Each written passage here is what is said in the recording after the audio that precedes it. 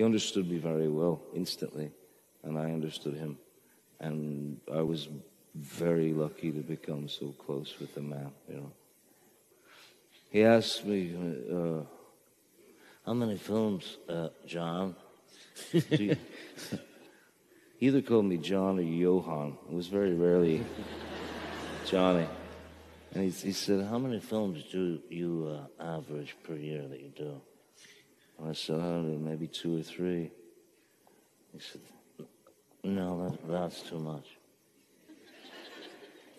So I said, Well, why is that too much, man? He said, Because we only have so many faces in our pockets.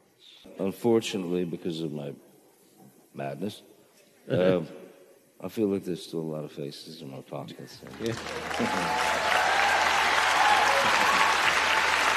Speaking, speaking,